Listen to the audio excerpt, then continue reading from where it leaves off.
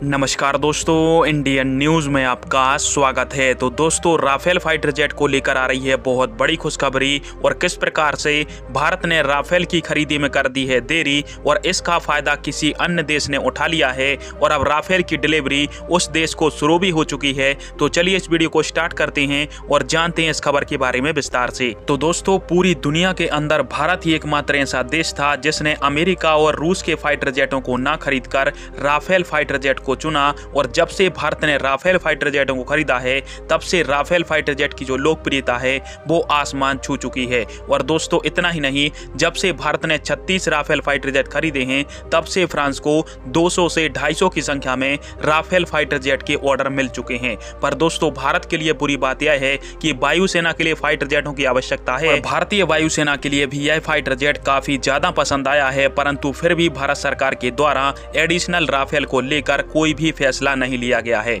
और दोस्तों, इसका परिणाम यह हुआ कि राफेल फाइटर जेट को फ्रांस के साथ किसी और देश ने खरीद लिया। और आप सभी इस बात को जानते होंगे कि दिसंबर 2021 के अंदर फ्रांस और यूएई के बीच में 80 राफेल का सौदा हुआ था। और आज इसी को लेकर बहुत बड़ी खबर निकल के सामने आई है। और फ्रांस की तरफ़ से ऐसी जानकारी दी गई है कि यूएई की तरफ़ से राफेल फाइटर जेट की डील की जो पहली किस्त थी, उसको फ्रांस को सौंप दिया गया है, जिसके बाद में राफेल फाइटर जेट की जो पहली खेप है, उसको फ्रांस की तरफ़ से अब यूएई के लिए डिलीवर किया जाना है। और दोस्तों, भारत के लिए यह बहुत बड़ी और बुरी खबर इसलिए है क्योंकि यदि भारत और फ्रांस के बीच में यह डील हो जाती तो आज ये राफेल के एफ़ फोर वेरियंट यूएई ना जाकर भारत आ रहे होते और आज भारतीय वायुसेना की ताकत और बढ़ जाती। और दोस्तों, इसलिए भारत सरकार को अब वायुसेना के लिए नए फाइटर जेट खरीदने के ऊपर विशेष ध्यान देने की आवश्यकता है। और यदि हम विदेशी फाइटर जेट नहीं लेना चाहते तो स्वदेशी फाइटर जेटों के प्रोग्राम को और ज़्यादा फंडिंग देकर तत्काल वायुसेना के लिए फाइटर जेट उपलब्ध करा जाए,